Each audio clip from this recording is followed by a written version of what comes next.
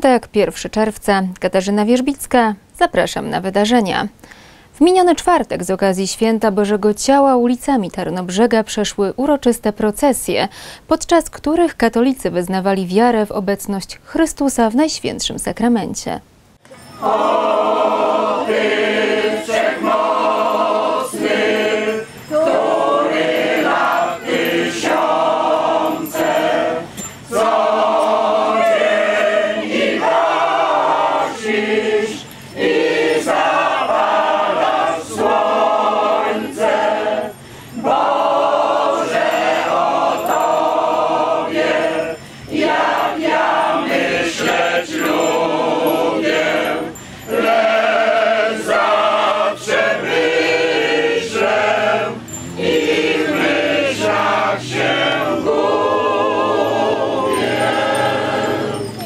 Boże Ciało, nazywane poprawnie uroczystością Najświętszego Ciała i Krwi Pańskiej, jest świętem ruchomym, obchodzonym 60 dni po Wielkiej Nocy, jednym z najstarszych świąt w kalendarzu liturgicznym. Swoją historią sięga XIII wieku. W Polsce obchodzony jest od 1320 roku. Tradycyjnie uroczystości związane ze świętem Bożego Ciała obejmują mszę świętą, po której następuje procesja do specjalnie zbudowanych na ten cel czterech ołtarzy. Przy każdym z ołtarzy odczytywany jest fragment jednej z czterech Ewangelii opowiadający o Eucharystii. W Tarnobrzegu czwartkowe uroczystości rozpoczęły msze święte. Główna procesja wyruszyła z kościoła Matki Bożej Nieustającej Pomocy na osiedlu Serbinów, przeszła ulicami miasta aż do klasztoru ojców dominikanów. Uczestniczyły w niej tłumy wiernych. Wszyscy wspólnie się modlili, ubrane na biało dziewczynki sypały kwiaty.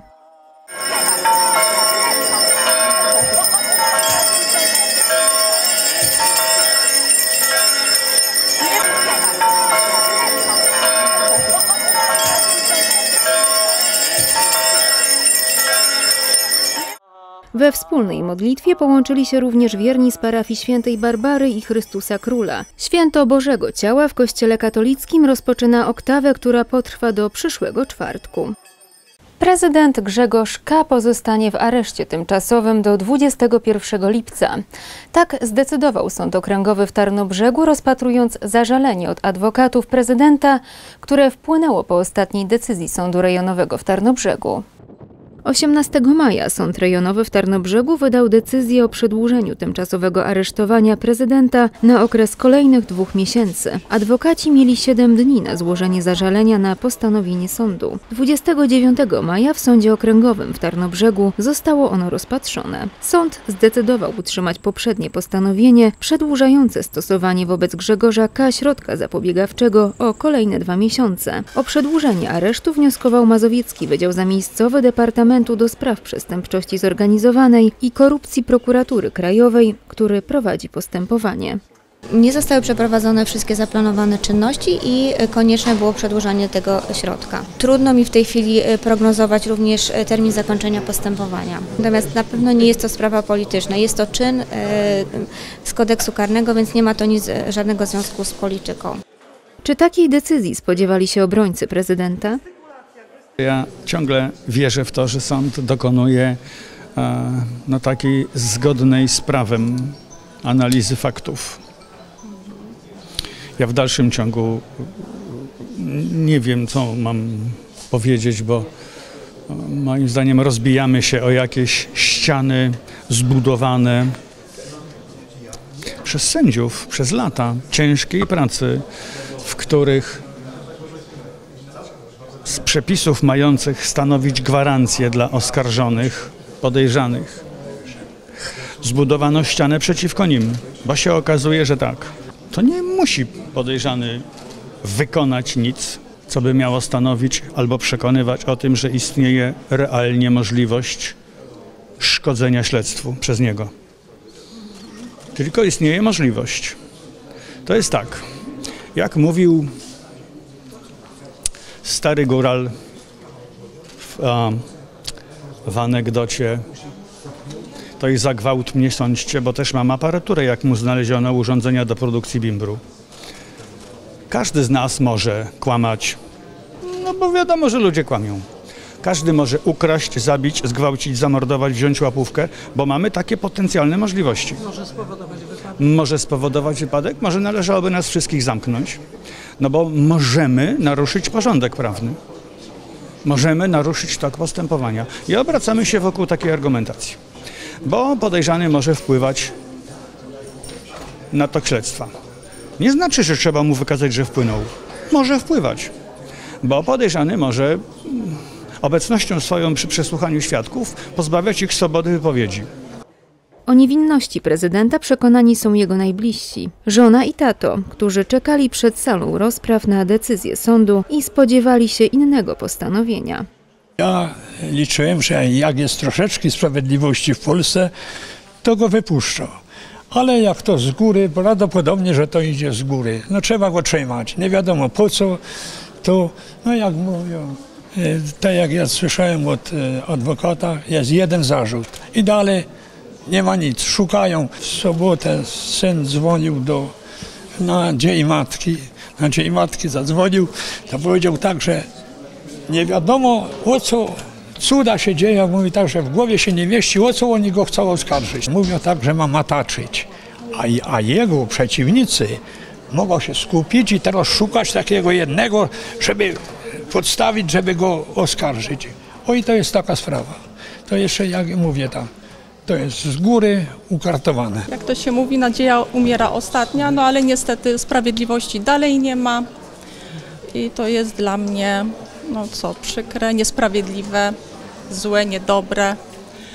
I może powiem jeszcze tyle, że em, tym wszystkim złym ludziom, którzy zmontowali tą aferę przeciwko mojemu mężowi tylko po to, żeby go odsunąć od e, możliwości kandydowania w wyborach, tym wszystkim podłym ludziom, na czele z tą kanalią, która zjawiła się w jego gabinecie 21 lutego, może zacytuję, e, zadetyguję tutaj taki wiersz, nasuwa mi się na myśl Juliana Tuwima. Wiersz, w którym poeta grzecznie, ale stanowczo uprasza liczne zastępy bliźnich, aby go w pocałowali. No tak, tak jest e, w tytule. Także dedykuję to wszystkim złym ludziom, którzy po prostu eh, zmontowali tą aferę przeciwko mojemu mężowi. Tak, żeby go pozbawić dobrego imienia, żeby upodlić dobrego człowieka. Grzegorz K. od 23 lutego przebywa w areszcie. Co się stanie po 21 lipca? Jak byłem w marcu w Warszawie, to sąd okręgowy powiedział, że jeżeli prokurator przesłucha świadków, iluś tam, określił ich krąg, to powinien uchylić aresztowanie wobec prezydenta. Przesłuchał prokurator, nie uchylił. To co ja mogę wnioskować teraz, co się stanie 21 lipca? Że będzie ciąg dalszy, bo w dalszym ciągu będę słyszał, że prawdopodobieństwo jest duże, Pierwsza jednostka strażacka na terenie Polski została utworzona w 1845 roku. 13 lat później powstała jednostka w Baranowie Sandomierskim. Od tego wydarzenia minęło już 160 lat, co uroczyście świętowali strażacy, samorządowcy i mieszkańcy gminy.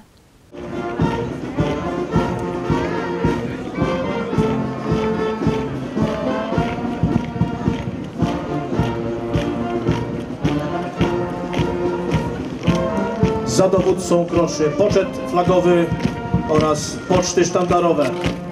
Poczet sztandarowy OSP Baranów Sandomierski obecny, jak i również poczet sztandarowy sztandaru, który został wręczony w 1956 Uroczyste obchody 160-lecia jednostki Ochotniczej Straży Pożarnej w Baranowie Sandomierskim miały miejsce na rynku głównym. To tu, po zakończeniu uroczystej mszy świętej, zgromadzili się między innymi strażacy ze wszystkich jednostek funkcjonujących na terenie gminy, przedstawiciele zaprzyjaźnionej jednostki z województwa lubelskiego, samorządowcy, radni Sejmiku Wojewódzkiego, przedstawiciele powiatu tarnobrzeskiego oraz ościennych gmin.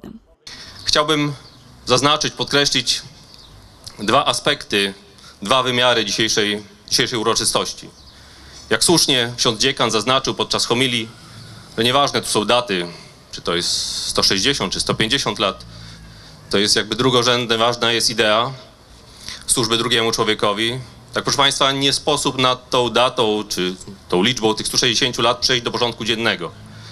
Proszę Państwa, myślę, że warto na tej uroczystości dzisiejszej wyrazić dumę, satysfakcję i uznanie dla tych przodków czy poprzednich pokoleń mieszkających na terenie Baranowszczyzny, którzy już, już w 1858 roku zakładali Ochotniczą Straż Pożarną tutaj na tych terenach. Obchodząc uroczystości w jednej z jednostek Ochotniczej Straży Pożarnej w Błęcznej, rówieśnicy jednostki w Baranowie Sandomierskim, wskazywane było, że jest ona jedna z czterech najstarszych na terenie Polski jednostek. Proszę Państwa, jeszcze raz podkreślę, że to jest duma dla nas, mieszkańców gminy Baranów Sandomierski, że właśnie tutaj ta świadomość, ta zdolność organizacji była na tyle duża, że już tak w takim okresie czasu, w tym momencie byliśmy w stanie stworzyć takie, takie oddziały organizacji wsparcia wzajemnego, pomocy drugiemu człowiekowi, że właśnie ta idea służby człowiekowi, bliźniemu była tutaj tak silna. Krótki rys historyczny jednostki jubilatki przedstawił jej prezes, druh Henryk Kruk. W 1898 roku nasza straż mogła się sprawdzić, brała udział przy dużego pożaru zamku. Wyjeżdża też na pomoc do odległych miejscowości, jak do Mielca, Mokrzyszowa i tak dalej. Warto zaznaczyć, że każdy wyjazd odbywał się zaprzęgiem konnym. Na lata 1902-1911 przypada działalność naczelnika Stanisława Satary. Są to lata świetności Straży Pożarnej w Baranowie Sandomierskim. Podczas uroczystości odbyło się ślubowanie druhów młodzieżowej drużyny pożarniczej na sztandar jednostki. Następnie zaproszeni goście uroczyście wbili gwoździa fundacyjnego do drzewca sztandaru z wygrawerowanym imieniem i nazwiskiem fundatora. Przekazano również sprzęt ratowniczo-medyczny jednostkom ochotniczych straży pożarnych z terenu gminy Baranów Sandomierski. Tak podniosła uroczystość nie mogła odbyć się bez odznaczeń dla strażaków za zasługi dla pożarnictwa oraz awansów na wyższe stopnie służbowe. Słowa gratulacji gratulacji do komendanta gminnego OSP Józefa Bereskiego z okazji awansu na stopień młodszego kapitana kierował burmistrz Marek Mazur. Życzę kolejnych sukcesów oraz wszelkiej pomyślności w kontynuowaniu służby, ojczyźnie i człowiekowi oraz życiu rodzinnym, a także pewności, że wszystko podąża we właściwym kierunku. Oby awans, który otrzymałeś, przyniósł Ci wiele satysfakcji, zmotywował do dalszej pracy i zapewnił każdego dnia uśmiech na twarzy. Korzystając z okazji, pragnę również wyrazić uznanie za działalność na rzecz Ochotniczych Straży Pożarnych z terenu naszej gminy. Dziękuję również za pomyślnie układającą się współpracę, licząc na dalszy jej rozwój. Wszystkiego najlepszego. Z wyrazami uznania, Panie Komendancie. Słów uznania i wdzięczności dla wszystkich strażaków za codzienną służbę, zaangażowanie i bezinteresowną chęć niesienia pomocy nie szczędzili także zaproszeni goście. Życzę wszystkim i jednocześnie dziękuję wszystkim druhom ochotnikom za waszą codzienną służbę, za waszą codzienną pracę na rzecz drugiego człowieka. Ale chciałem również podziękować wam i waszym rodzinom, że nie przeszkadzają wam w tym, abyście pełnili służbę dla drugiego człowieka. Wszystkim wyróżnionym, odznaczonym z całego serca gratuluję i życzę dalszych awansów i dalszych sukcesów. A wszystkim Państwu życzę radości i satysfakcji spełnionej służby i Waszym rodzinom życzę, żebyście byli dumni, że macie w rodzinie tak wspaniałych strażaków. Obecnie jednostka OSP Baranów Sandomierski liczy około 110 członków czynnych oraz dwie młodzieżowe drużyny pożarnicze, chłopców i dziewcząt. W tym roku w Tarnobrzegu kolejna edycja budżetu obywatelskiego. Uchwałę dotyczącą jego przeprowadzenia podjęli radni podczas ostatniej sesji Rady Miasta. Co się zmieni? Budżet obywatelski należy rozumieć jako formę konsultacji społecznych z mieszkańcami Tarnobrzega w sprawie przeznaczenia części wydatków z budżetu miasta na wskazane przez mieszkańców propozycje zadań i działań mających na celu poprawę ich warunków życia i funkcjonowania. O jego formie i zasadach rozmawiali m.in. radni i przewodniczący osiedli spełniającym obowiązki prezydenta Tarnobrzega już w kwietniu. Większości y, radni byli za tym, żeby utrzymać budżet obywatelski w tej formule osiedlowej. Dlatego, że i, i, to też rozumiem, ponieważ w większości osiedli y, są inwestycje, które zostały rozpoczęte, ale nie zostały zakończone. Y, ja zawsze byłem zwolennikiem innej wersji budżetu obywatelskiego. Uważałem, że powinno się robić jakieś większe projekty, na których korzystają wszyscy mieszkańcy, ale jednak e, zdecydowałem, że racjonalność wymaga tego, żeby jednak te inwestycje, które się rozpoczęły, zostały zakończone. Dlatego też w tym roku w ramach budżetu obywatelskiego 1 600 tysięcy złotych zostanie przeznaczone na inwestycje na poszczególnych osiedlach. Chcemy zakończyć po prostu te inwestycje, mam nadzieję, że do tego dojdzie, ale żeby nie karać y, tych osiedli, które można powiedzieć sprawnie przygotowały projekty, y, że nie rozbiło się to w czasie i, i rzeczywiście umieścili się w, w kwocie 100 tysięcy złotych, to tam, gdzie inwestycja nie została y, jakaś jeszcze niedokończona, oni też będą mogli skorzystać z tych środków, z, kolejnych 100 tysięcy złotych, przy czym tutaj taki jest zapis regulaminu, żeby te projekty, które będą teraz składane nowe, żeby one nie przekraczały tej kwoty lub jeżeli po, postępowanie przetargowe wykazałoby jakąś drastyczny wzrost tych kosztów, to zastrzegamy, że będzie możliwość ewentualnie, y, oczywiście w porozumieniu z, z wnioskodawcą, ten wniosek troszeczkę zmienić. No chodzi o to, żebyśmy po prostu nie rozpoczynali nowych inwestycji, które no, będą wymagały kolejnych lat na dokończenie, zwłaszcza, że nie mówimy tutaj o wielkich inwestycjach, tylko jakichś mniejszych y, i nie można to rozciągnąć w czasie. Jak informuje Kamil Kalinka, w tym roku nie będzie 400 tysięcy złotych na realizację budżetu ogólnomiejskiego. To byłaby bardzo duża pula pieniędzy. Wiadomo, że w przyszłym roku mamy bardzo poważne zadania, takie jak budowa obwodnicy, również inne inwestycje, gdzie będziemy potrzebowali wkładu własnego. Y, Też będziemy aplikować o środki zewnętrzne, więc na pewno te pieniądze będą nam potrzebne. I, a zawsze mieszkańcy w swoich tych najważniejszych potrzebach wskazują te takie strategiczne rzeczy na ich osiedlu, czy to kwestia jest dróg, chodników, oświetlenia. Tak więc no, na to musimy mieć wkład własny, bo jeżeli nie będziemy mieli wkładu własnego, no to niestety nie będziemy mogli korzystać z środków zewnętrznych, a, a budżet Tarnobrzega na inwestycje jest bardzo niewielki. Jeden ogólnomiejski projekt i realizacja większych, ważnych dla całego miasta i jego rozwoju inwestycji to zdaniem niektórych radnych sprawa kluczowa w tego typu konsultacjach społecznych. Dlatego też wnioskowali o to, by w przyszłości jednak powrócić do takiej formy. W przyszłym roku ewentualnie będziemy już zastanawiać się e, nad, nad tym budżetem obywatelskim, co będzie. Myślę, że decyzja jest otwarta. Na pewno budżet obywatelski musi być, bo jako miasto na prawach powiatu już mamy obowiązek ustawowy, żeby budżet obywatelski był, e, więc on na pewno będzie. Tylko kwestia jest doprecyzowania, czy- w którą stronę będziemy szli w przyszłości. Za przyjęciem uchwały w sprawie przeprowadzenia konsultacji społecznych z mieszkańcami Tarnobrzega dotyczących budżetu miasta na 2019 rok głosowało 15 radnych, dwóch było przeciw. Gdy my śpimy, oni czuwają. Gdy nasze życie jest zagrożone, oni je ratują. Mowa oczywiście o strażakach. W tym roku uroczystości związane z ich świętem odbywały się na osiedlu Zakrzów. Miejsce to nie zostało wybrane przypadkowo. Tutejsza jednostka obchodzi bowiem w tym roku 90-lecie swojego istnienia. Aby wspólnie świętować Miejski Dzień Strażaka, do Zakrzowa przybyli strażacy Ochotniczych Straży Pożarnych, członkowie ich rodzin oraz zaproszeni goście. Po mszy świętej wszyscy przemaszerowali na plac przy remizie strażackiej. To tu miały odbyć się główne uroczystości, lecz ze względu na nieprzychylną pogodę przeniesione zostały do remizy. Tu obchody rozpoczął druh Edward Szlichta, który podkreślił znaczenie mijającego roku, w którym to przypada rocznica stulecia odzyskania niepodległości przez Polskę.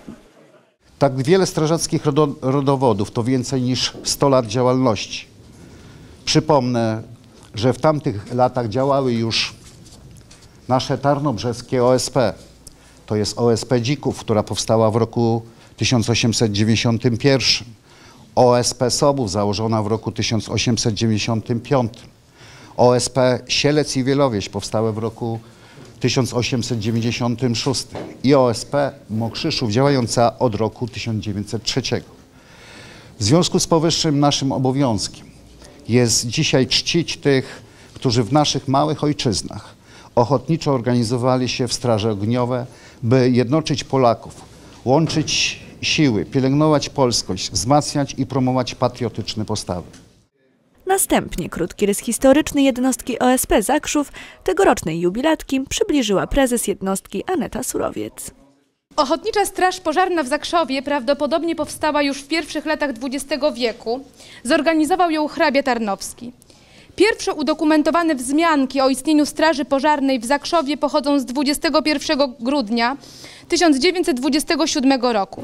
Wtedy właśnie jednostka z Zakrzowa jako pierwsza przybyła gasić pożar w Zamku Dzikowskim. Pięciu strażaków i sikawka ciągnięta przez konie o godzinie 2.50 przybyła do pożaru. Po 10 minutach zjawiło się jeszcze kolejnych 14 druhów z Zakrzowa. Gaszenie pożaru trwa, trwało 3 dni i 3 noce. Miejski Dzień Strażaka nie mógł obejść się bez prezentów. Te otrzymały jednostki ochotniczych straży pożarnych w postaci niezbędnego sprzętu. Podczas uroczystości prezesom poszczególnych jednostek wręczono symboliczne akty przekazania sprzętu. Łączna jego wartość to blisko 80 tysięcy złotych. Zakup możliwy był dzięki środkom pozyskanym z Ministerstwa Sprawiedliwości. Sprzęt, który będzie dzisiaj przekazany to 8 zestawów medycznych PSP R1, w skład których poza podstawowym wyposażeniem opatrunkowym i ratunkowym wchodzi tlen medyczny, znajduje się komplet szyn Kramera, deska ortopedyczna dla dorosłych, deska ortopedyczna dla dzieci, hydrożele, zestawy do segregacji triaż. Cztery zestawy uzupełniające torb medycznych dla jednostek w krajowym systemie, które dysponowały już torbami w pewnym zakresie, a teraz do najnowszych standardów zostaną doposażone oraz dwa defibrilatory AED ZOL.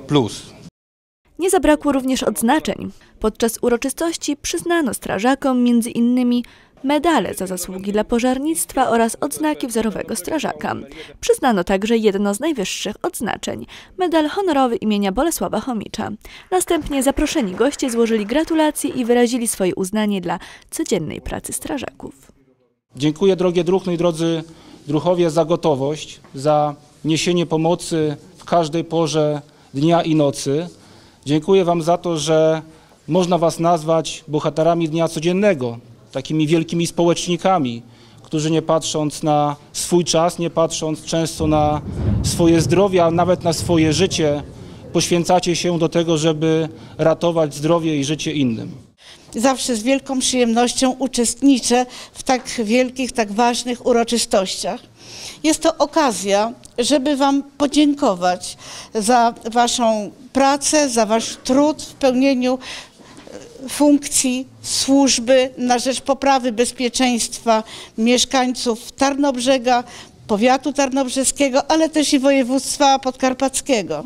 Chcę w imieniu zarządu Wojewódzkiego Funduszu przekazać Wam gratulacje w związku e, z tym pięknym jubileuszem, ale również chcę przekazać słowa uznania za Waszą szlachetną służbę, którą niesiecie pomoc innym.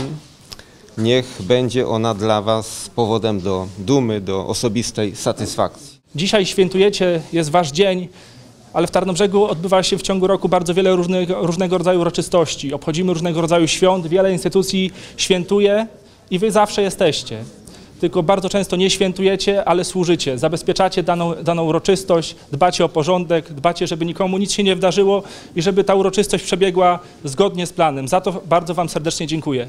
Ja mogę obiecać tylko jedno. Ze strony Rady Miasta mnie nigdy ręka nie zadrży, jeżeli kolejny sprzęt będzie do Państwa trafiał i będzie on przechodził przez Radę Miasta. Obiecuję, że moja ręka zawsze będzie w górze, ponieważ wiem, e, co jest potrzebne, Wiem od 2010 roku, że jesteście zawsze tam, gdzie jesteście potrzebni, tam, gdzie ratujecie zdrowie i życie ludzkie.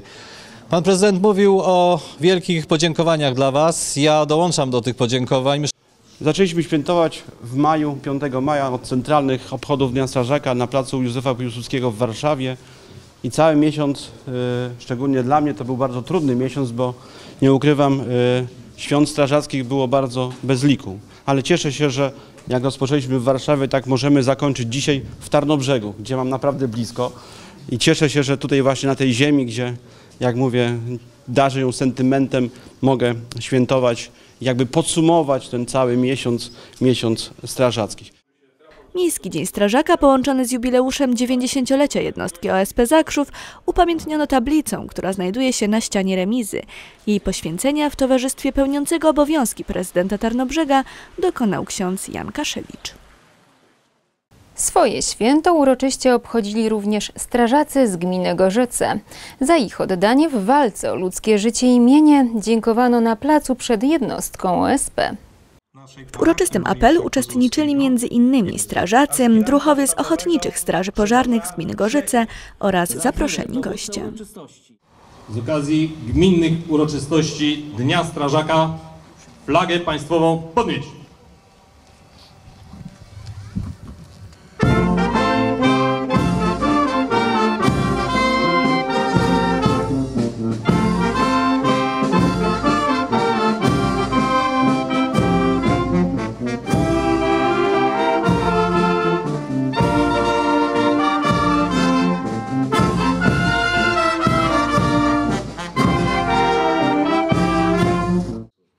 Międzynarodowy Dzień Strażaka to najlepsza okazja do tego, aby podkreślić wyjątkowość służby strażaków, która dziś nie ogranicza się tylko do gaszenia pożarów. W ostatnich latach, zwłaszcza 25 latach, ta służba bardzo się zmieniła. Straż pożarna to nie tylko gaszenie pożarów, to ratownictwo drogowe, medyczne, techniczne, wysokościowe i ratownictwo wodne. Dzisiaj trudno sobie wyobrazić życie bez strażaków. Strażacy po alarmowaniu na numer 112 są pierwsi przy wszystkich zdarzeniach. Po nich dojeżdżają następne służby i za to serdecznie Wam dziś dziękuję. Słów wdzięczności druchom za trud i gotowość niesienia pomocy tym, którzy jej potrzebują, bez względu na własne bezpieczeństwo, nie szczędzili również zaproszeni goście.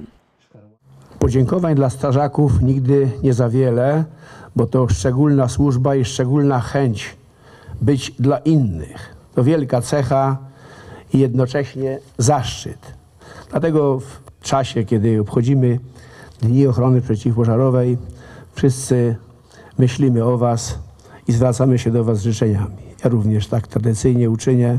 Życzę Wam z okazji Święta Strażaka wszelkiej pomyślności, zdrowia i bezpiecznej służby i niech w Waszych rodzinach panuje szczęście i dostatek. To, że jesteście od wielu, wielu lat na pierwszym miejscu jako służby, które są obdarzone najwyższym zaufaniem przez społeczeństwo, to nie jest przypadek.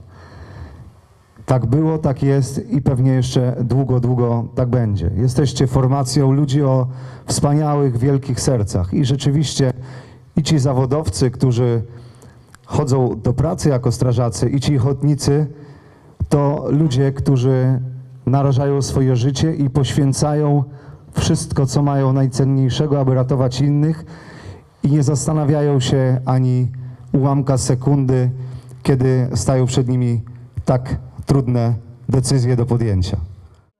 W trakcie uroczystości zasłużeni strażacy otrzymali odznaczenia i awanse na wyższe stopnie służbowe. Spotkanie było również okazją do przekazania na rzecz ochotniczych straży pożarnych sprzętu ratującego życie. Uczestnicy obchodów mogli dodatkowo obejrzeć ciekawą wystawę zabytkowych hełmów i hełmów paradnych, używanych przez Straż Ogniową województwa lwowskiego, prezentowaną w sali obrad Rady Gminy Gorzyce. Listy gratulacyjne z okazji Dnia Samorządowca, pracownika kultury, stypendia dla najzdolniejszej młodzieży i nadanie tytułu honorowego obywatela gminy. Tak uroczyście było w Gorzycach podczas ostatniej sesji Rady Gminy. Już po raz kolejny w Środowiskowym Domu Kultury w Gorzycach wyróżniono i nagrodzono tych, którzy pracują na rzecz małej ojczyzny. Jest to jeden z naj, najprzyjemniejszych dni w roku, ponieważ w zadowalającym stopniu możemy stwierdzić, że mamy cudownych uczniów, wspaniałych nauczycieli i dyrektorów szkół, świetnych rodziców i bardzo dobrych pracowników samorządowych i pracowników kultury. To już jest pewna tradycja u nas, y, która się zrodziła, żeby właśnie taką uroczystą sesję robić raz przynajmniej w roku i uhonorować y, tych żyjących, pracujących, zarówno pracowników, mieszkańców, jak również dzisiaj będziemy mieli okazję uhonorować człowieka, który tworzył zrębu nowoczesnego samorządu od samego początku, pana Stanisława Krawca, świętej pamięci naszego wójta. Z inicjatywy pracowników gminy, radnych i wójta Stanisław Krawiec pośmiertnie otrzymał tytuł honorowego obywatela gminy Gorzyce. Widzimy teraz, czego się ten człowiek podjął. Podjął prawie 30 lat temu. Przed jakimi problemami stanął. Przecież nie miał gotowych wzorców, nie mógł czerpać doświadczenia od swoich poprzedników, tak jak ja czerpałem od niego, czy od innych samorządowców. To były zręby, to były przekształcenia gospodarcze, społeczne, polityczne. No, no to, to, to można to porównać wręcz do takiego przewrotu jak, może to złe porównanie, ale do czegoś takiego jak rewolucja październikowa. Całkiem coś innego, tylko w drugą stronę. Gratulacje i wyróżnienie odebrała najbliższa rodzina byłego wójta, żona, siostra oraz córka. W imieniu moim oraz całej mojej rodziny chciałam serdecznie podziękować. Bardzo miło, że taki, mm, taki tytuł został nadany mojemu tacie, chociaż uważam, że to on bardzo zasłużył na to. I był naprawdę świetnym wójtem przez te 16 lat, które było mu dane wójtować. Wprowadzał naprawdę bardzo dobre zmiany, budował szkoły, różne inne rzeczy. Naprawdę tego jest bardzo wiele i się bardzo dużo uzbierało. Dzięki niemu mm, gmina jest, zaczęła być taką, jaką jest. jest jesteśmy naprawdę chyba, naprawdę chyba najlepiej rozwijającą się gminą w, tutaj w naszym powiecie. I bardzo się cieszę, że pan Leszek Surdy ma szansę teraz kontynuować tak jakby to, co tato by chciał zrobić dalej dla naszej gminy i dla naszych mieszkańców naszej gminy. Także jeszcze raz serdecznie dziękuję. Bardzo nam niezmiernie miło i tato na pewno też się cieszy. Wyróżnienia za długoletnią pracę na rzecz społeczności lokalnej i listy gratulacyjne z okazji Dnia Samorządowca otrzymali doświadczeni pracownicy, przedstawiciele Urzędu Gminy Gorzyce oraz podległych instytucji. Wśród wyróżnionych znalazła się m.in. pani Marzena Zych, która w samorządzie pracuje już 35 lat. Myślę, że, że, że dobrze, że dobrze wybrałam. Że dobrze wybrałam, że, że podjęłam pracę w Urzędzie Gminy. Było to zupełnie inaczej i zupełnie inne czasy. A dzisiaj no, trudno sobie wyobrazić albo powrócić do tamtego, co było. Tak się gmina zmieniła i zmieniła się na korzyść. Jestem z tego dumna, że, że, że dzisiaj mogę tutaj być, że, że ktoś mnie docenił. Na tłoku tych wszystkich rzeczy, tego wszystkiego, co się dzieje tutaj, tutaj naokoło. Dziś, jeśli mogłaby Pani zmienić wybór i wybrać inny zawód, Nie, nie zmieniłabym wyboru i też bym nie zmieniła miejsca zamieszkania. Gorzyce. Gorzyce, choć pochodzę tutaj z sąsiedniej miejscowości z Orlisk, ale dla mnie to jest y, je- je- jedna jakby miejscowość. Idealne miejsce. Specjalne podziękowania i symboliczny grawerton od wszystkich pracowników gminy otrzymał również sam wójt Leszek Surdy. Docenieni zostali także nieco młodsi mieszkańcy gminy, uczniowie szkół podstawowych, gimnazjum oraz szkół ponadgimnazjalnych. 11 z nich w ramach funduszu stypendialnego Młodzi Zdolni przyznano stypendia pieniężne. Mamy wśród stypendystów już kadrowiczów Polski, na przykład w lekkiej atletyce, w kadrze B. Mamy w juniorach. Yy, Mamy wspaniałych muzyków, chórzystów, yy, no i naukowców. Takich ludzi, takie osiągnięcia trzeba doceniać i pomagać tej młodzieży w, dalszym rozwoju i ich awansie społecznym. Jednym ze stypendystów jest Aleksander Matyka, któremu przyznano również stypendium specjalne. Uczę się w szkole imienia Adama Osetka w Gorzycach, a stypendium odbieram jako taki y, bonus, przyspieszenie do rozwoju. Czy jest coś, co szczególnie Cię interesuje, jakieś umiejętności szczególne chciałbyś rozwijać? Grę na gitarze, no i głównie nauki ścisłe.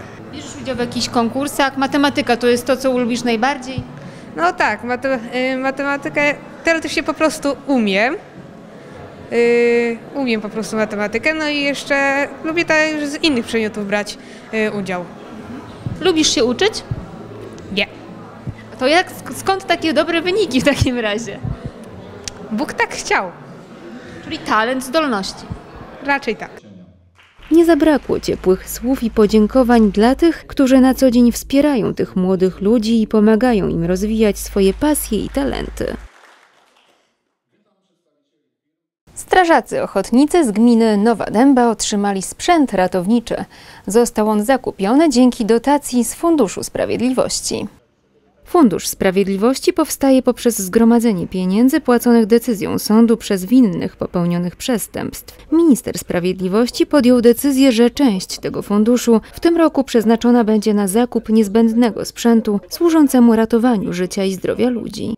Na konto Ministerstwa Sprawiedliwości trafiają różnego rodzaju środki i część z tych środków trafia właśnie do jednostek OSP. Ponieważ to wy często jako pierwsi stajecie po stronie tych pokrzywdzonych w zdarzeniach drogowych, w jakichś sytuacjach kryzysowych i udzielacie wsparcia tym poszkodowanym. Więc myślę, że pomysł ministra Ziobry był bardzo racjonalny i myślę, że ten sprzęt będzie równie racjonalnie wykorzystywany.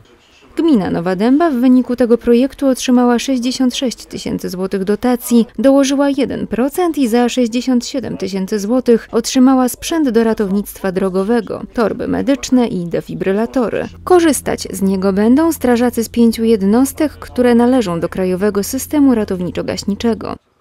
Zestaw ratownictwa medycznego, jeden o wartości ponad 5 tysięcy złotych, trafi do jednostek OSP w Alfredówce i Tarnowskiej Woli. Myślę, że dobrze został tutaj przez wycelowany, że tak powiem, przez pana komendanta wspólnie ze mną, dlatego że y, Tarnowska Wola położona przy drodze krajowej numer 9, a Alfredówka, która udaje się do akcji ratowniczej na terenie kompleksów leśnych, więc myślę, że i tam może być ten sprzęt wykorzystany. Defibrylator o wartości ponad 5000 zł również y, otrzymują jednostki w Nowej Dębie i w Jadachach. To jest nowość na wyposażeniu naszych jednostek. No i ostatni zestaw, jaki trafia do jednostki OSP Chmielów, to zestaw ratownictwa drogowego Weber za 36 600 zł. Jest to specjalistyczny sprzęt hydrauliczny, bardzo ważny w zdarzeniach drogowych, jak i w ratownictwie przemysłowym. Jednostka OSP Chmielów, jak wiemy, w wielu zdarzeniach w okolicy tutaj uczestniczy i w zdarzeniach drogowych przy drodze krajowej nr 9 na drogach powiatowych, ale też w zdarzeniach na terenie specjalnej strefy ekonomicznej w Chmielowie. Nie raz, nie dwa. Trzeba było tam stanąć, trzeba było brać udział w akcjach, które wymagają tego specjalistycznego sprzętu. Jak mówi Wiesław Ordon, szczególne podziękowania za wsparcie i pomoc w pozyskaniu tego sprzętu należą się posłowi Zbigniewowi Chmielowcowi, przewodniczącemu parlamentarnego zespołu strażaków. Gmina Nowa Dęba należy do tych gmin, które osiągnęły i dostały jedną z większych kwot. I dlatego y, dziękuję za dobry wniosek.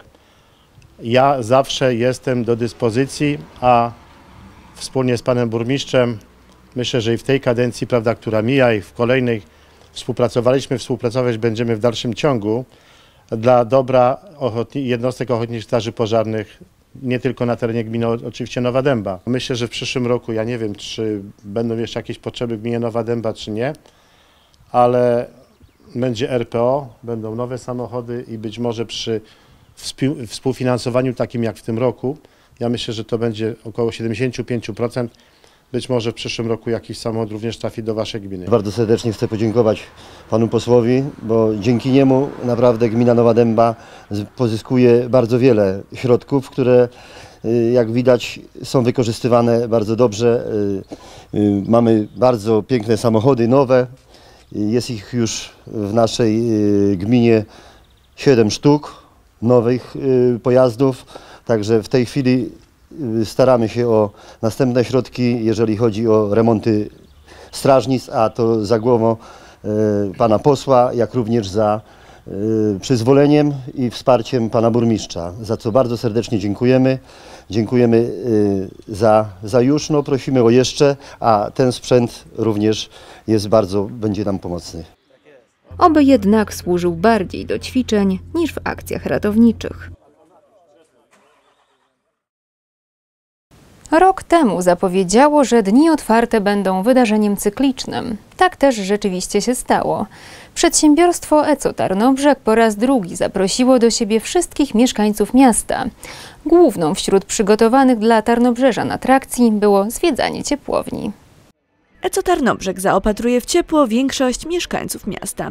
Dzień otwarty przedsiębiorstwa pozwala zarówno tym starszym, jak i najmłodszym tarnobrzeżanom bliżej zapoznać się z jego działaniami. No, chcemy pokazać naszym odbiorcom, jak pracujemy, jak wygląda nasza kotłownia, jakie warunki pracy mamy. Chcemy to wszystko przybliżyć, bo no, nie ukrywam, że y, nasi odbiorcy dostarczają nam pieniążków za energię, którą im sprzedajemy. Y, chcemy pokazać, że ta energia, którą im sprzedajemy jest bezpieczna, jest w miarę ekologiczna. Wszystko co robimy, wykonujemy to bardzo czysto, i chcemy po prostu też chronić środowisko i jak najmniej zanieczyszczeń wysyłać po prostu do powietrza. A oprócz tego ECO Tarnobrzeg stara się również edukować, zwłaszcza dzieci. Od kilku lat przedstawiciele przedsiębiorstwa w celach dydaktycznych odwiedzają najmłodszych mieszkańców miasta w przedszkolach. Co roku organizujemy teatrzyk dla przedszkoli, gdzie dos- dostarczamy ciepło. Jest to kilkanaście przedszkoli y, w naszym mieście. O ile wiem, to, to się spotyka bardzo dużym zainteresowaniem. Dzieci są po prostu zachwycone. I na tych teatrzykach y, pokazujemy, jak dbać przede wszystkim o środowisko, jak oszczędzać energię cie- cieplną. Dzień otwarty to również okazja, aby opowiedzieć o sukcesach. ECO Tarnobrzeg w tym roku mogło pochwalić się tytułem firmy przyjaznej klientowi, który zdobyło już trzeci raz z rzędu. Tytuł ten przyznaje w zasadzie nam odbiorcy ciepła, y, dlatego że oni są badani, oni wypełniają ankiety, oni, z nimi są przeprowadzone y, wywiady i firma zewnętrzna y, nawet nas nie informuje, kiedy to robi, podlicza to wszystko i przyznaje, przyznaje nagrodę. Jest nam bardzo miło z tego powodu, że no, mieszkańcy dobrze nas postrzegają w tym mieście. Na wszystkich, którzy ostatnią niedzielę postanowili spędzić z ECO Tarnobrzeg, czekało szereg niespodzianek, wśród nich głównie te przeznaczone dla dzieci. Ciekawa zabawa z graffiti, wielkie bańki mydlane, gry, zabawy i kolorowanki to tylko niektóre z nich. Główną wśród zaplanowanych atrakcji było zwiedzanie ciepłowni. Chętnych, którzy chcieli zobaczyć, jak powstaje ciepło, nie brakowało. Możemy zobaczyć e, wszystkie pomieszczenia, w których są te kluczowe procesy e, produkcji ciepła wykonywane. E, Zaczęliśmy zwiedzanie na placu węglowym, na składowisku węgla. E, Później przeszliśmy e, od samej góry do samego dołu ciepłowni, czyli pierwsze było miejsce, w którym węgiel trafia do zasobników węgla. Później przeszliśmy na halę kotłów. Jest to miejsce, w którym znajdują się kotły, w którym następuje proces wytwarzania energii cieplnej z węgla. W tej kotłowni wykonaliśmy od 3 lata temu gruntowny remont kapitalny, gdzie odnowiliśmy dokładnie wszystko. Wszystkie ściany, mury, wszystkie pomieszczenia, yy, wszystkie urządzenia w zasadzie. Nie to było najdroższe, bo mamy praktycznie trzy nowe kotły, nową pompownię, nową stację użytkowania wody, nowe węzły cieplne tutaj wybudowane. Jest to naprawdę bardzo, bardzo nowoczesna, nowoczesna kotłownia. Na co dzień nie można przyjść. Jest to obiekt y, strategiczny dla miasta. Jest to obiekt, który jest y, normalnie zamknięty dla zwiedzających. Ci, którzy nie mieli jeszcze okazji zwiedzić ciepłowni, mogą szykować się na tę nietypową wycieczkę, która prawdopodobnie odbędzie się znów za rok, podczas kolejnych, trzecich dni otwartych przedsiębiorstwa. I znów sceną Środowiskowego Domu Kultury Tarnobrzeskiej Spółdzielni Mieszkaniowej w Tarnobrzegu zawładnęły przedszkolaki. Swoje talenty zaprezentowały w ramach przeglądu dorobku artystycznego przedszkoli. W tym roku odbył się on już po raz 30. Przegląd dorobku artystycznego przedszkoli to jedna z wielu proponowanych przez Środowiskowy Dom Kultury form aktywizujących artystycznie dzieci. W tym roku już po raz 30 na scenę zaproszono najmłodszych mieszkańców naszego miasta, by przed swoimi rodzicami mogli zaprezentować swoje talenty. Z zaproszenia skorzystało 11 tarnobrzeskich przedszkoli, czyli łącznie 260 przedszkolaków. Ich występy zawsze budzą wiele pozytywnych emocji. Występy są przepiękne, zawsze wzruszające, zawsze wnoszące moc jakiejś takiej energii, dziecięcego piękna. Y, Każdy program jest inny. Widać bardzo mocno zaangażowanie zarówno dzieci, jak i pań, które to wszystko przygotowują.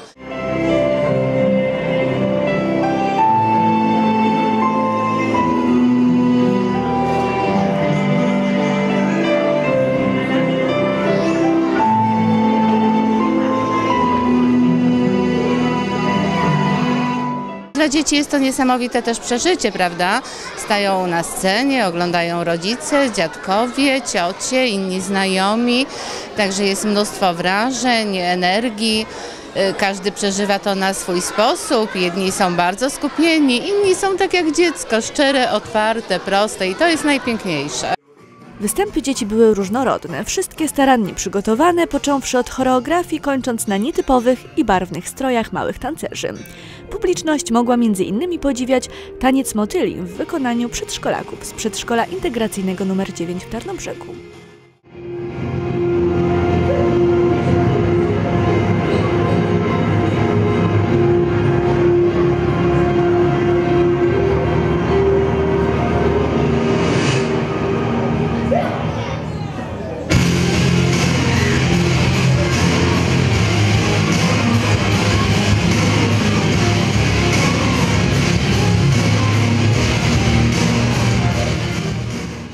Dzieci bardzo chętnie uczestniczą w takich przeglądach, e, lubią rywalizację, e, z przyjemnością ćwiczyły e, cały taniec, e, wyzwalało to w nich wiele radości, uśmiechu, e, mimo że próby były dość częste i intensywne. Z kolei walca i taniec irlandzki zaprezentowały dzieci z przedszkola numer 13. Potwierdziły nam również, że rzeczywiście bardzo lubią takie występy. Czy Wam się podobają takie występy jak ten dzisiaj? Tak, Dlaczego? Co jest w tym takiego fajnego? że dzieci ładnie tańczą. A czy Wy lubicie tańczyć i śpiewać? W ogóle jestem jakby piosenkarka, bo uwielbiam śpiewać. A Ty? Ja też uwielbiam śpiewać. I tańczyć? Tak, A jak Wam się podobają występy innych dzieci z innych przedszkoli? bardzo. Występy dzieciaków zostały jak zwykle docenione przez organizatorów przeglądu. Każde otrzymało dyplom i słodkie upominki. Przegląd dorobku artystycznego przedszkoli zbiegł się z Dniem Matki. Występy dzieci były więc dla mam najwdzięczniejszym prezentem.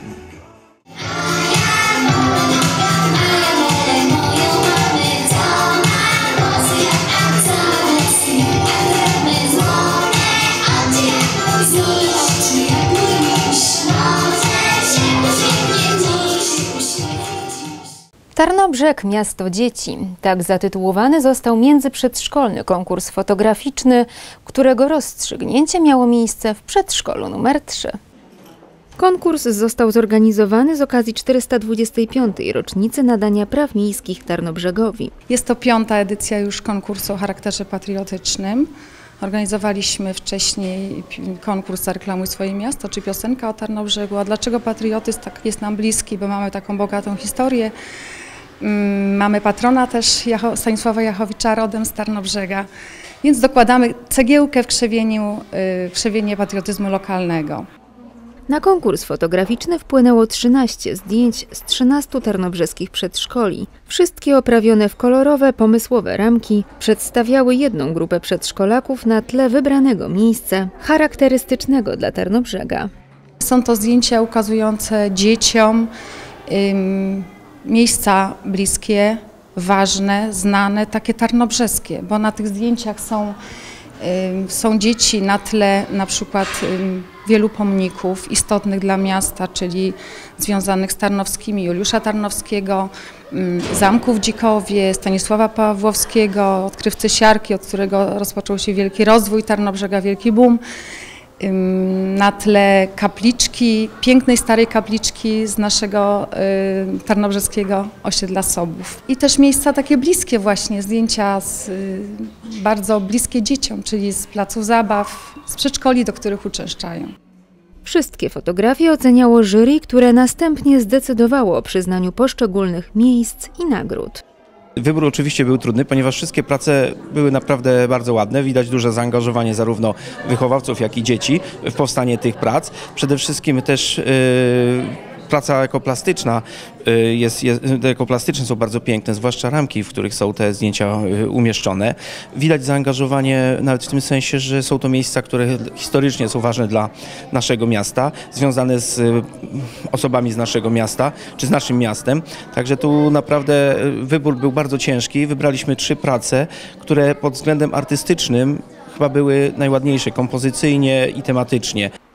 Po wielu dyskusjach pierwsze miejsce jury postanowiło przyznać przedszkolakom z szóstki za urokliwe zdjęcie na tle starego kina Wisła. Na drugim miejscu znalazły się przedszkolaki z trójki w lasowiackich strojach. Z kolei na trzecim dzieci z przedszkola numer jeden sfotografowane na swoim przedszkolnym placu zabaw. Praca przy Starym Kinie Wisła, y, wprawdzie jednym z kryteriów było piękno, ale ten budynek jest piękny, wprawdzie zaniedbany, ale piękny nadal. I tu ważne, że ktoś zwrócił na to uwagę. Nawet sama aranżacja tego zdjęcia, dzieci są przebrane w odpowiednie stroje. No, no to zdjęcie naprawdę zachwyca. Zachwyca również ramka, w której jest oprawione y, to zdjęcie. Podobnie zdjęcie, które zajęło drugie miejsce. Y, czyli dzieci w strojach lasowiackich. Bardzo takie dynamiczne zdjęcie, bardzo, bardzo ładne kompozycyjnie. No, właściwie mógłbym powiedzieć, że te dwa zdjęcia to były aequo. Jak przystało na konkurs, były oczywiście i nagrody. Niespodziankę artystyczną dla wszystkich gości przygotowały sześciolatki.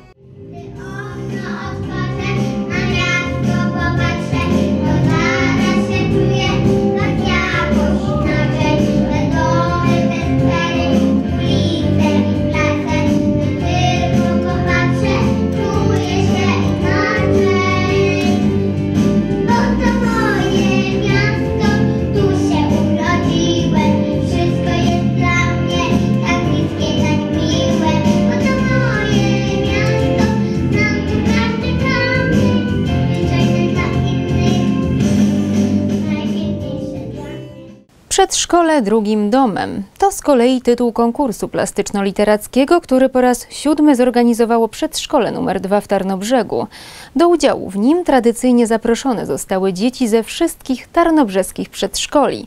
Jury wyłoniło już laureatów.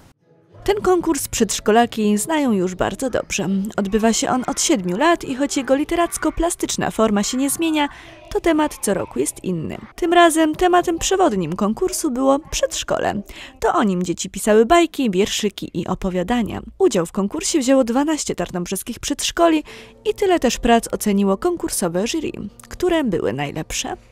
Wybór był bardzo trudny, ponieważ wszystkie prace były bardzo ciekawe, żadna się nie powtarzała, każda miała swój urok, każdy, no naprawdę dużo y, czasu spędziliśmy, na, żeby rozstrzygnąć y, ten konkurs, ale jury y, wspólnie, zgodnie ustaliło, że pierwsze miejsce zajęło przedszkole numer 5, drugie miejsce przedszkole numer 8, a trzecie miejsce przedszkole numer 18.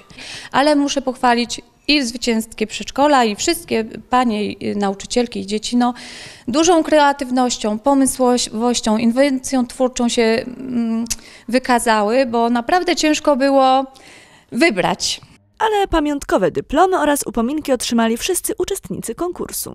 Dodatkowo gospodarze sześciolatki z przedszkola nr 2 przygotowały dla swoich rówieśników z innych przedszkoli krótki występ artystyczny.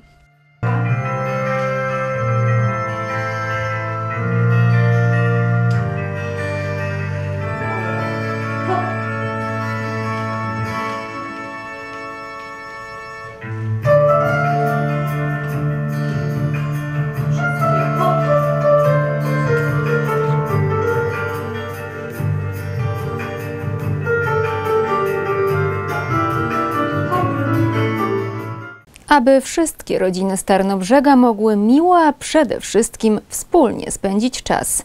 Taki cel przyświeca organizatorom pikniku, który od pięciu lat odbywa się w Tarnobrzegu z okazji Święta Rodzin. Organizatorami pikniku są Akcja Katolicka, Parafia Miłosierdzia Bożego oraz Szkoła Podstawowa nr 9 w Tarnobrzegu. Tradycyjnie wszystkie rodziny bawiły się wspólnie na terenach zielonych na osiedlu dzików. Przede wszystkim chodzi o to, żeby rodziny tarnobrzeskie znalazły czas na bycie razem. Wreszcie jest to czas dla rodziny. Czas na bycie wspólne, posłuchanie tego, co mają do powiedzenia dzieci, czy do tego, co mają do powiedzenia rodzice. Piknik przygotowany z okazji Święta Rodzin zawsze obfituje w atrakcje. Coś ciekawego dla siebie znajdują tu zarówno rodzice, jak i dzieci. Były zabawy, konkursy, było pieczenie kiełbasek, e, były słodkości, była loteria fantowa. Wszystkie atrakcje takie, na które zasługuje tarnobrzeska rodzina. Dzieci otrzymywały darmowe słodycze, mogły wystąpić na scenie. Było widać tą radość, szczególnie jak na niebie pojawiła się tęcza, która powstała z, ze sztucznego deszczu z węży strażackich. A i scena nie świeciła pustkami. Wystąpili na niej m.in. uczniowie niepaństwowej szkoły muzycznej pierwszego stopnia. Śpiewać,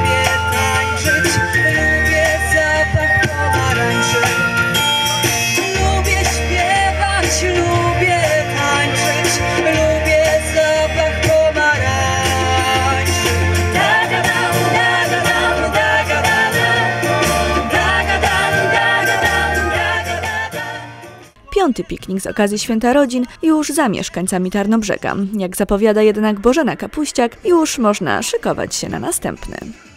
Zapraszamy już serdecznie wszystkich mieszkańców Tarnobrzega na e, piknik, już szósty z kolegi za rok. Kto był szefem delegacji polskiej na pokój Ryski? Kiedy i dlaczego pojawiła się pierwsza eskadra lotnicza w Polsce?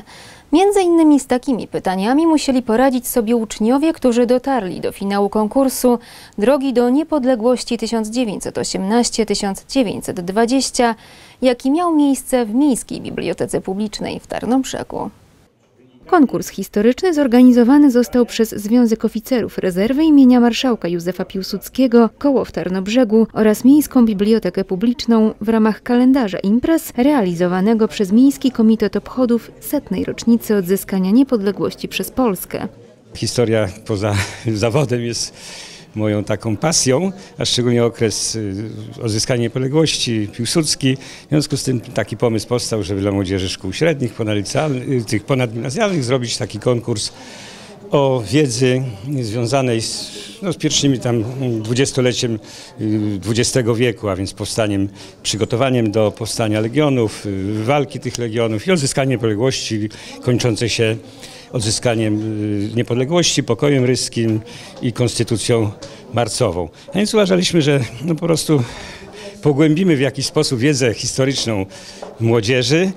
W konkursie wystartowało 8 szkół ponadgimnazjalnych z terenu Tarnobrzega, łącznie około 60 uczniów. W finale znalazły się 24 osoby, które najpierw musiały zmierzyć się z częścią pisemną. Jaką wiedzą się wykazały?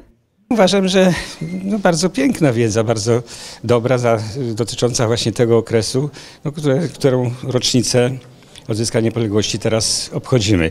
A więc po prostu tam kilka pytań takich było, które wszystkim sprawiły trudność, ale generalnie na te najważniejsze pytania większość odpowiadała prawidłowo. Pod wrażeniem dużej wiedzy, jaką wykazali się uczestnicy, był również Dariusz Bożek, historyk przewodniczący Rady Miasta Tarnobrzega, który objął patronat nad konkursem. Wiedza bardzo, bardzo wysoka. Naprawdę na 20, 20 pytań to jest w granicach 15, 16, 18 punktów, więc to jest naprawdę bardzo duża wiedza. Szczególnie, że to nie jest wiedza typowo książkowa. To nie jest ta, którą znajdą w każdym podręczniku. To jest raczej wiedza, bo ona dotyczy, cóż, niepodległości, ale głównie skupiliśmy się na okresie dwudziestolecia międzywojennego. I to jest taka dosyć szczegółowa wiedza. Nam zależało na tym, żeby to była taka wiedza, która wykaże szczególnie tych młodych ludzi, którzy interesują się właśnie tym okresem dwudziestolecia międzywojennego. No i widzę, że mamy specjalistów i to wybitnych specjalistów. Ośmiu najlepszych dotarło do ścisłego finału, czyli części ustnej. Tu również łatwo nie było. Ostatecznie największą wiedzą historyczną wykazał się Tomasz Ryś z tarnobrzyskiego hetmana i to on zdobył pierwsze miejsce w konkursie. Laureaci otrzymali oczywiście nagrody. O oprawę muzyczną wydarzenia zadbali uczniowie niepublicznej szkoły muzycznej Krzysztofa Zwierzyńskiego. Kiedy przyjdzie po mnie zegar światła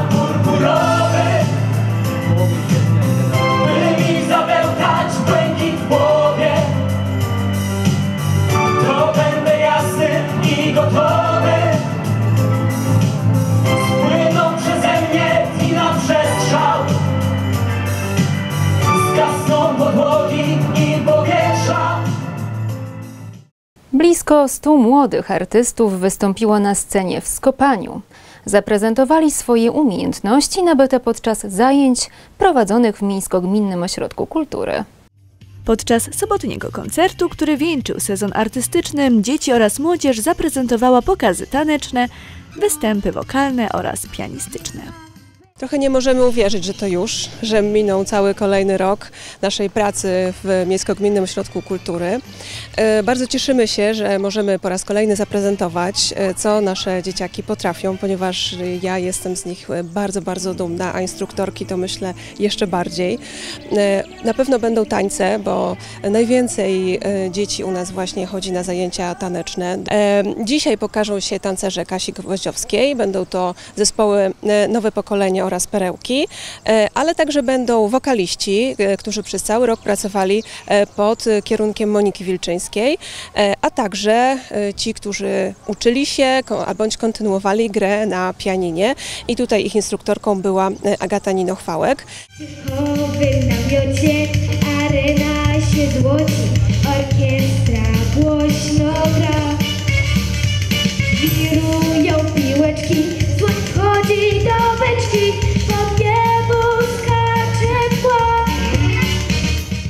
Zrobili ogromne postępy i, em, właściwie to są już y, mali profesjonaliści i aż boję się myśleć o tym, e, co osiągną w życiu, kiedy, e, e, kiedy już będziemy mogli gdzieś e, obserwować już z daleka ich dorosłe poczynania.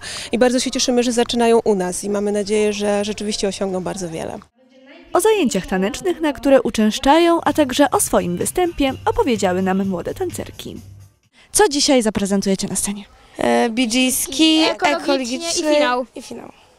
To to są stroje bardziej, wróciliśmy do lat 80., 70., y, a ze stroju eko będziemy tańczyć bardziej w takich strojach ekologicznych, czyli bardziej podobnych do drzew, różnych mm, moro. W ogóle co sądzicie o tych zajęciach tanecznych, na które tutaj przychodzicie? Są bardzo fajne i miłe.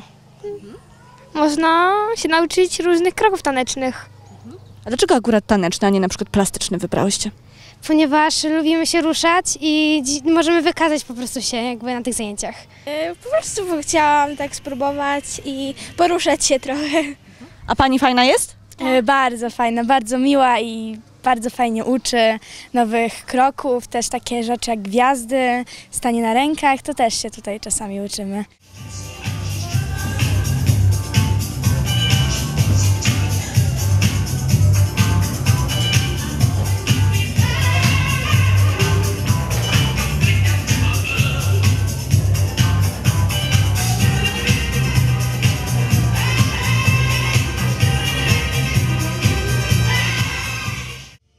Cały rok szkolny dzieci i młodzież może rozwijać swoje talenty w Miejsko-Gminnym Ośrodku Kultury na wielu różnorodnych zajęciach. Nie tylko tanecznych, wokalnych czy pianistycznych, ale także teatralnych, plastycznych i rękodzielniczych. Nie możemy y, jakby stworzyć jednego koncertu, kiedy kończymy wszystkie zajęcia jakoś tak symbolicznie, ponieważ po prostu byłby to koncert trwający cały dzień e, i pewnie nikt nie byłby w stanie takiego maratonu wytrzymać, zwłaszcza też, że e, wiele dzieci chodzi na e, te same zajęcia. Są takie dzieci, które chodzą na prawie wszystkie zajęcia i to jest dla nas no, fantastyczne, bo spędzają u nas cały czas, jesteśmy zaprzyjaźnieni z nimi, z ich rodzicami. Choć zajęcia w tym sezonie się kończą w Miejsko-Gminnym Ośrodku Kultury, praca wciąż wre. Trwają między innymi intensywne przygotowania do festiwalu Dziecko w folklorze, który w tym roku obchodzi swój jubileusz 25-lecia. Już 9 i 10 czerwca podczas Dni Tarnobrzega będzie można dołączyć do bazy dawców szpiku, a tym samym pomóc m.in. 23-letniej Elżbiecie ze Stalowej Woli, która choruje na ostrą białaczkę limfatyczną. W rejestracji wszystkim chętnym pomagać będą wolontariusze, uczniowie Tarnobrzeskiej Budowlanki. Do rejestracji w bazie Fundacji DKMS zachęcają uczniowie i nauczyciele Tarnobrzeskiej Budowlanki, a także Piotr Błaszkiewicz, prezes Rzeszowskiego Oddziału Ogólnokrajowego Stowarzyszenia Pomocy Chorym na Przewlekłą Białaczkę Szpikową. Okazja do zostania potencjalnym dawcą szpiku pojawi się podczas tegorocznych Dni Tarnobrzega. w dniach 9-10 czerwiec na terenach zielonych nad Wisłą w godzinach od 14 do 19. Ogólne zasady to, y, żeby zostać potencjalnym dawcą szpiku i zapisać się do bazy DKMS-u, to ogólny stan zdrowia dobry, wiek od 18 do 55 lat, y, minimum 50 kg wagi, no i mieć ze sobą, co jest ważne, dokument z PESEL. I Wolontariusze e, będą czekać właśnie na Dniach Tarnobrzega, będziemy mieć przygotowane stanowiska e, i będą po prostu przeprowadzać wywiad. E, Zawsze mają wykaz chorób, które po prostu wykluczają właśnie z możliwości byta, bycia potencjalnym dawcą. Wniosek i wymaz, jak to się mówi, dwa wymazy i do bazy. Tak to jest równocześnie skierowane jako pomoc i apel mamy, dziewczyny ze Stalowej Woli, Elżbiety, która ma 23 lata i choruje na ostrą białaczkę limfatyczną. Są też apel i prośba do wszystkich mieszkańców, bo z tego co wiemy, że najlepiej dawcę szukać w rejonie zamieszkania biorcy, czyli tam, gdzie ten nasz rejon tutaj y, Podkarpacia, czyli Tarnobrzeg, Stalowa Wola, y, prawdopodobieństwo trafienia na, na dawcę jest duże, stąd dlatego ten apel. Szczegółowe informacje dotyczące pobierania szpiku i warunków bycia dawcą można znaleźć na stronie internetowej www.dkms.pl. I to już wszystko, co przygotowaliśmy dla Państwa. Zaraz po wydarzeniach zapraszam Państwa na sport, a w bloku programowym o godzinie 9.30 i 21.00 oko reportera. Dziękuję za uwagę i zapraszam za tydzień.